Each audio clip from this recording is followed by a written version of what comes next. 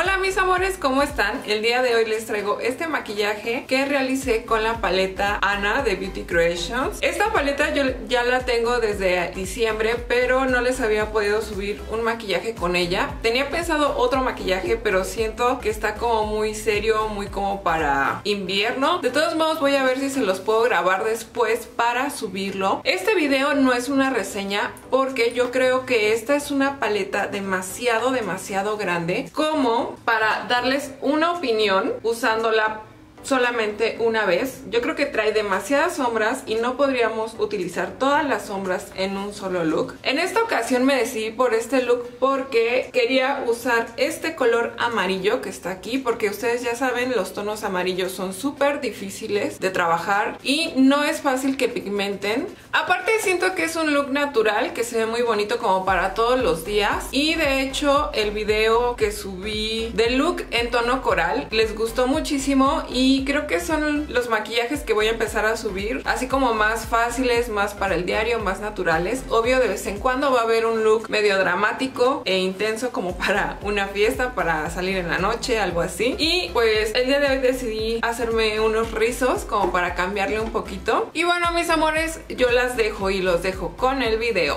Bueno mis amores, vamos a comenzar con esta sombra. Esta sombra es un tono terracota es un tono café con un subtono naranja, algo así. Y lo que yo hice es aplicar un corrector como primer. No lo sellé, solamente estoy borrando los pliegues que se pudieron haber marcado. Estoy tomando esta brocha para difuminar que es bastante amplia. Y estoy posicionando esa sombra en la esquina externa de mi párpado. Pero la estoy posicionando a toquecitos. No estoy haciendo movimientos de limpia parabrisas ni circulares, nada de eso, a toquecitos. Es una técnica de punteo. Y con el residuo que quedó en mi brocha, estoy subiendo un poquito más para difuminar esa sombra.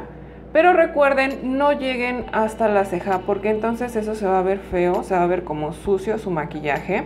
Recuerden difuminar súper bien sus sombras. Eh, tómense el tiempo necesario. Em, traten de, esforzarse un poquito más para que el maquillaje se vea súper, súper bonito. Y mis amores, este va a ser un difuminado y enseguida vamos a aplicar este tono amarillo. Es como entre un tono amarillo vainilla o como un amarillo con un subtono eh, como mostaza, algo así. Y este color lo vamos a aplicar igual, eh, con una técnica de punteo en la parte media de nuestro párpado. Y estoy jalando un poquito eh, con el pincel hacia el tono pues anterior para que se integren muy bien, se difuminen y no se vaya a ver dónde empieza y dónde, en dónde termina cada uno de esos colores. Todo lo estoy haciendo con el mismo pincel, nada más que lo limpié entre una sombra y otra.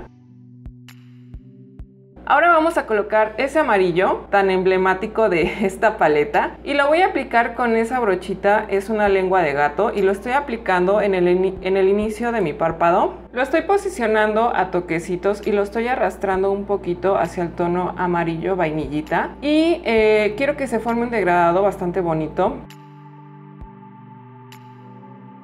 Y ahora voy a tomar la brochita para difuminar y voy a tratar de difuminar ese color. Como que sí se pierde un poquito ese tono amarillo a la hora de difuminar, no queda ya tan intenso.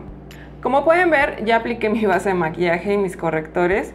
Esto es algo que ya les he explicado en varios videos.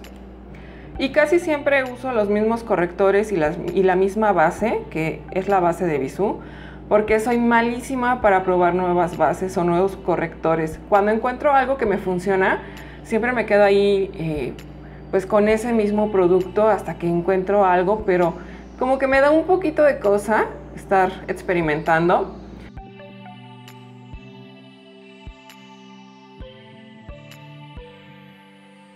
Este polvo también ya me lo han visto muchas veces, creo que pues ya saben cuáles son mis favoritos.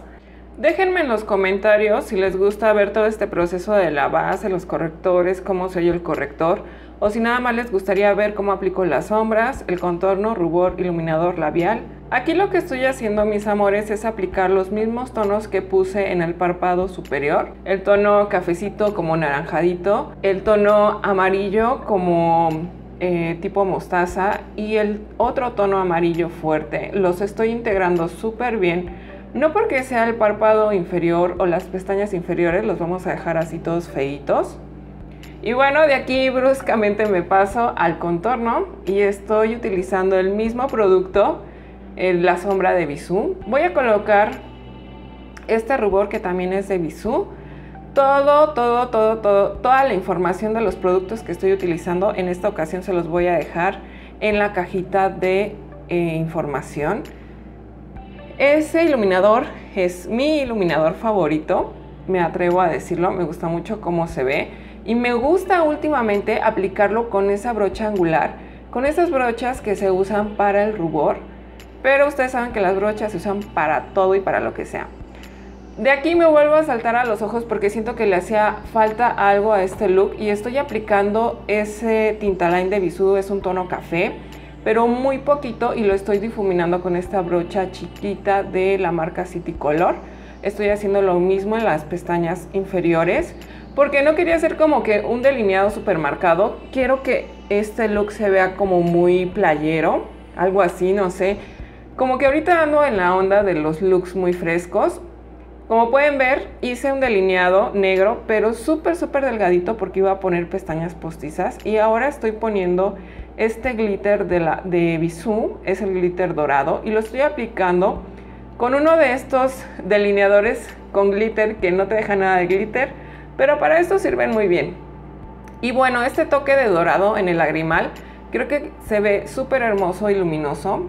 Y voy a aplicar este labial de la marca Heika Organics es el tono terracota, eso sí me acuerdo, se los puedo afirmar y asegurar. Pero solamente lo estoy poniendo en la mucosa del labio y con el dedo lo difumino. Porque últimamente he agarrado esta onda, no sé, siento que se ve muy padre así el labial. Y voy a aplicar este gloss de la marca LA Girl. Es como un subtono rosado. Y así es como queda el look, mis amores. Espero que les haya gustado. Les mando un beso y nos vemos en el próximo video. Bye.